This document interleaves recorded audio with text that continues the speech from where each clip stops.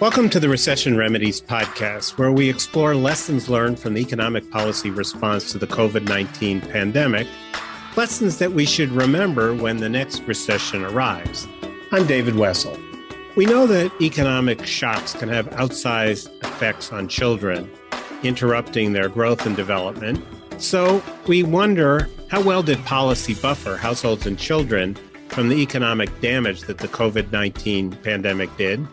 How did changes in policy on childcare, food nutrition, schools, health insurance affect families, particularly those with children? So, to talk about this today, I'm joined by Anna Aizer of Brown University and Claudia Persico of American University, who are co authors of a chapter on children in our Recession Remedies book.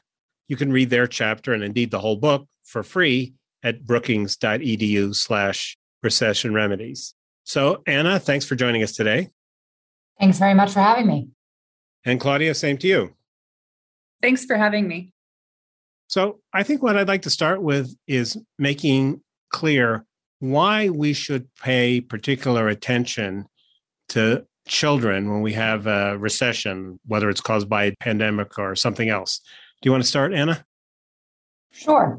Well, we know from existing evidence that during recessions, the environment of children can be very much negatively affected. And this can have very long term consequences in terms of their overall outcomes. We know that children who grow up during recessions, for example, earn less as adults. so these are the kinds of things that we really want to be mindful of when we think about a policy response to a recession. Claudia, it would be helpful if you could talk a little bit about what were the policies that we implemented during the pandemic that had particular importance to families with children? Certainly. So there were a variety of policies that specifically targeted children, and then a variety of policies that affected children as a byproduct of supporting parents and families. And so Largely, we found that cash and near cash transfers seem to have helped the most. So, there were pandemic unemployment assistance programs in place which supplemented unemployment insurance. There were three rounds of economic impact payments. We extended more generous SNAP benefits, which is the Supplemental Nutrition Assistance Program, and pandemic EBT to families with children. And all of those things reduced food insecurity among kids and seem to have improved a variety of different types of outcomes. In addition, we know that increased school funding likely helped. Unfortunately, school closures likely had a negative impact, but we funded schools very well through the Elementary and Secondary School Emergency Relief Fund. And in addition, the American Rescue Plan increased the child tax credit, which, along with the other economic impact payments, reduced child poverty to lower than pre pandemic levels. And so, all of these things together and the mostly swift policy response seems to have had pretty good compensating effects in terms of reducing child poverty and hopefully improving long run outcomes. Yeah, it's pretty amazing. We have this pandemic, a very sharp, although short recession, and the poverty rate among families with children actually falls. It's like striking. It's not something you usually see in a recession. That's exactly right. Usually the poverty rate among children goes up. But I think one of the lessons we learned is that that's not a great way of doing things. And so luckily we did learn our lesson in, in this pandemic slash recession. We really did target a lot of aid to families with children, which at least in the short term seems to have helped. Although it's also worth noting that there were still some children experiencing food insecurity and food hardship, and it's worth investigating that more to understand more about what kids we missed. Right. What do we know about kids who are not citizens, undocumented immigrants? Did they fall through the cracks in this thing? Yes, they certainly did. That is often the case. There were a couple of exceptions to that. The PEBT program, for example, that what's that? That's the the pandemic what? EBT program. EBT meaning it's a form of food stamps. That's correct. And it was administered to sort of replace the missed meals through the clothing of schools. And so, of course, all children are eligible for free lunch and breakfast in US schools, regardless of citizen status. And when the schools closed, that meant the loss of an important source of nutrition for many families, included undocumented children. But the PEBT program compensated for that, and it did include immigrant and undocumented children. And so that was one program that did serve all children. So, one of the things I found most interesting in your chapter was your discussion about what we did for childcare centers, both public and private.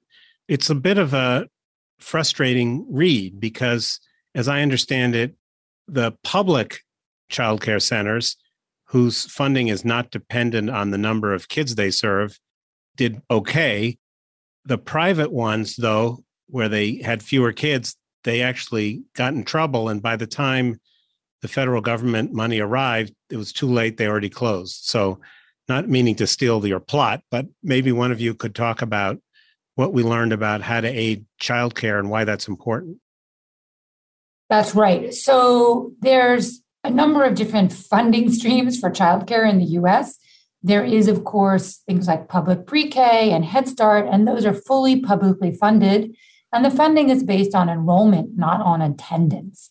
Then there's private childcare, and that's funded through a variety of sources, both public and private. And there, the funding depends on attendance. So if a child is not attending, that is a missed source of revenue for the childcare center. And one thing we learned during the pandemic is that childcare centers are really operating on very thin margins, which means that they have about two weeks of reserves, and that's it. So, after two weeks of significantly reduced revenues, many childcare centers were forced to close, which means that the pandemic assistance for childcare, which was much larger than previous childcare assistance in, for example, the Great Recession, came a little bit too late. And it came after many centers had already closed. And once a center closes, it's very difficult to reopen. So, one thing that we learned was that you have to provide assistance and you have to provide it immediately because the private childcare centers cannot survive. That is not the case for Head Start and public pre K because those are programs where their funding is already secure and is not dependent on attendance. Do you think, Anna, that had any effect on the willingness of parents to go back to work? Or don't we know? Right. So there is survey evidence that suggests that lack of childcare is an issue for working families. I don't think we have specific numbers on exactly how many families were unable to return to the workforce because of lack of childcare. But certainly, survey evidence suggests that it is a major issue and continues to be an issue because it's still not the case that all of those childcare centers have reopened. Hmm. Some hmm. have still remained closed. Right. Claudia, you mentioned earlier the child tax credit. Why is that important? And what did we lose when the expansion of the child tax credit expired at the end of last year? So, the child tax credit was sort of similar to EITC, which is a program that essentially gives families with children a bigger bonus come tax time. And so, when we expanded the child tax credit, we gave families with children a bigger sort of refund check. and that, in combination with a variety of the other supports to families, reduced child poverty by almost half, I believe. And unfortunately, we allowed that child tax credit to expire, and there were sort of income provisions associated with that. The child tax credit still exists. We just let to expire the expansion of the child tax credit, including the part that gives That's cash right. to people who don't actually owe any taxes. That's right. And so the program gives cash to people who don't owe any taxes. And we're going to let that expire at the end of this year, I believe. Hmm. And so when that happens, unfortunately, the child poverty rate is likely to go up again. That hmm. is what the estimates that I've seen suggest. And we know that being in poverty as a child is very detrimental to child growth and development and long run outcomes. And so, unfortunately, that would have negative effects. So, you know, the expansion basically ended December 15th, and Columbia University has already sort of projected how many more children fell into poverty as a result. So they estimate that about almost 4 million children fell into poverty after the December 15th end of the expansion. So in January, the child poverty rate increased from about 12% to 17% as a result of the end of the child tax credit expansion. Just to be clear on the dates, it expired in December 2021. That's correct. So that at the beginning of 2022, the Columbia researchers suggest there was a big increase in child poverty. That's correct. What do we know about the effects of having long periods where in person schooling was suspended and we had remote classes with varying degrees of success? Do we think this is something that's going to have lasting impacts on a whole cohort of kids, or is it something that we can recover from if we put our mind to it in the year and two ahead? So I think that it's really unclear right now whether or not the funding that has been spent will be used in compensatory ways. So it's a little bit too soon to tell. Initially, there wasn't a lot of federal guidance for how to spend the funds and it's not clear how the money has been spent. But we know that the money was initially allocated on the basis of Title I funding, which is funding for low income children. So high poverty districts saw larger increases in funding than lower poverty districts. But unfortunately, this was based on sort of last year's poverty counts. And so, in addition, there might have been lower poverty districts that actually were in need of additional funds and that had large numbers of low income children, but not large enough to receive as much of the compensatory funding. And so, right now, there are estimates by Gordon and Reber suggesting that about 62% of districts might not have gotten sufficient funds that were the sort of lower poverty districts. And also, there could have been movement because of the pandemic in and out of districts. And so, it's a little bit unclear right now whether or not that funding was enough. And it's also worth mentioning that sometimes governments are leery of standing up programs in a temporary capacity. For instance, a tutoring program might be something that parents love and want to continue even after the pandemic, even after kids have caught up, so to speak. And so it's a little bit unclear, you know, how much tutoring and other types of compensatory programs are being implemented nationwide. I think some places are probably doing more than others, but I think we really don't know yet how it's all going to shake out. But we do know that test scores went down during the pandemic, and we don't yet know how much they will have rebounded.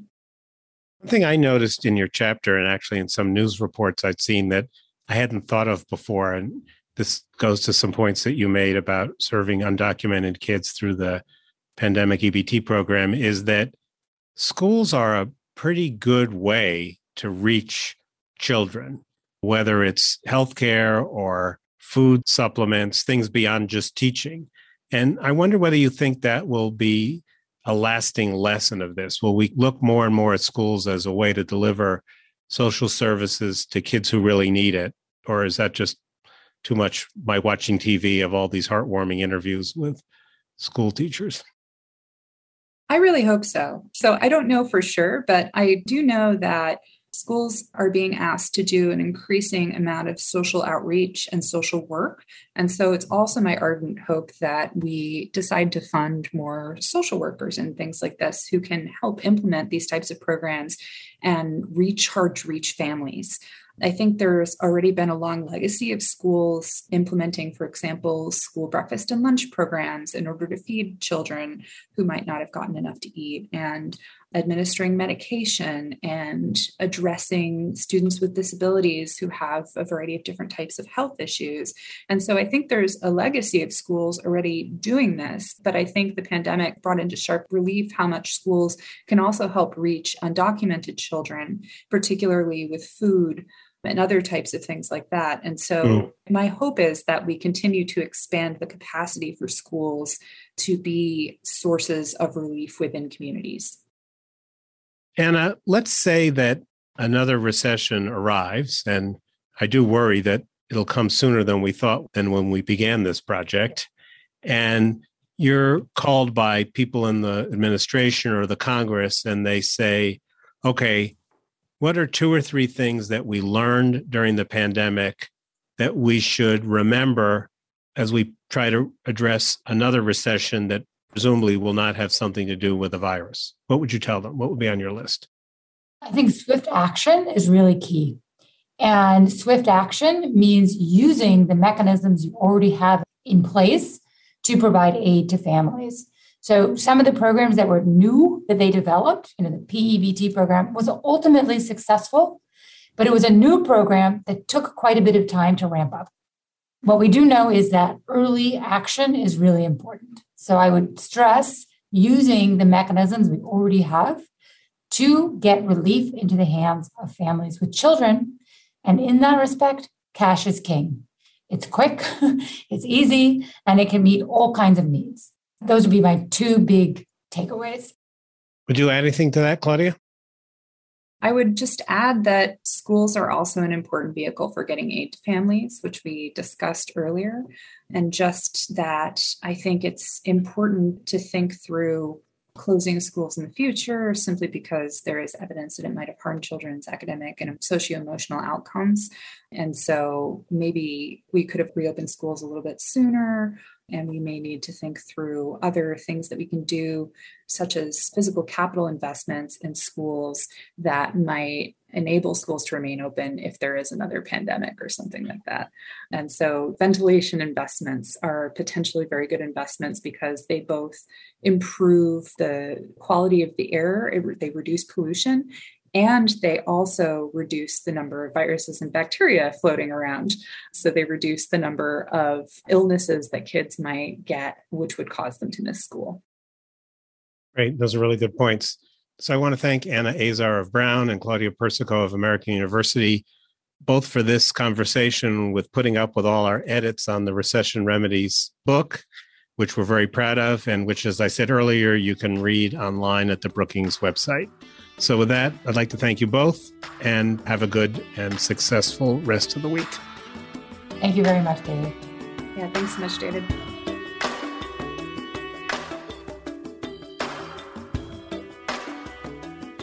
I'm David Wessel, director of the Hutchins Center at Brookings. Recession Remedies is a joint project of the Hutchins Center and the Hamilton Project at Brookings and is a production of the Brookings Podcast Network. Learn more about our other podcasts at brookings.edu slash podcasts and follow us on Twitter at Policy Podcast. You can send feedback to us at podcasts at brookings.edu. My thanks to the team that makes this podcast possible, including Fred Dews, producer, Gaston Reboredo, audio engineer, with support from Esty Griffiths, Marie Wilkin, and Caitlin Rowley of the Hamilton Project. The show's artwork was designed by Ann Fogarty, and promotional support comes from our colleagues in the Brookings Communications Department and from the Hamilton Project and Hutchins Center staff.